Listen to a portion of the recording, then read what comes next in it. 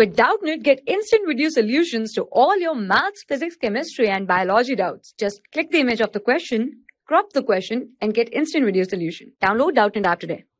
Hello students, have a look at the question. Question is the wavelength of light absorbed by reaction center of photosystem 2 is option given are 640 nanometer, 680 nanometer, 720 nanometer, 940 nanometer. So if we'll talk about the photosystem, photosystem 1 as well as the photosystem 2, these both are involved in the light reactions of the photosynthesis.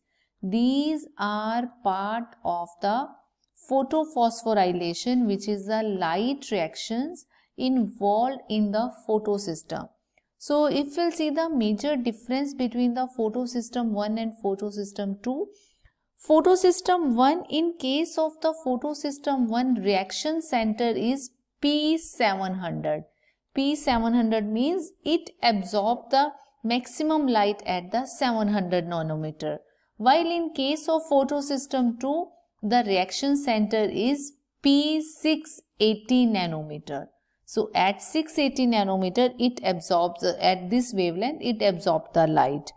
Photosystem 1, it is located on the outer surface of the thylakoid membrane.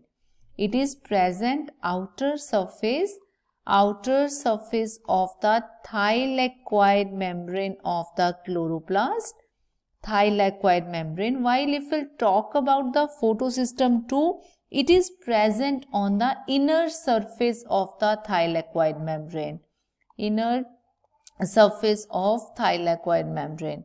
Now photosystem 1, it involves both cyclic as well as non-cyclic photophosphorylation.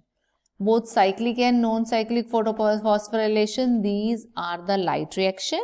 While in case of the photosystem 2, it is only involved in the cyclic photophosphorylation. So, if we'll see the question, question here says the wavelength of light absorbed by reaction center of PS2. Reaction center of PS2, it absorbs the light at the 680 nanometer, P, uh, photosystem 680 nanometer. Here we will see option 640 nanometer, this is incorrect. 680, yes, correct. 720, this is incorrect. 940 that is also incorrect. So our option B that is correct. Hope you get it. Thank you. For class 6 to 12, IIT JEE and NEET level. Trusted by more than 5 crore students. Download Doubtnut app today.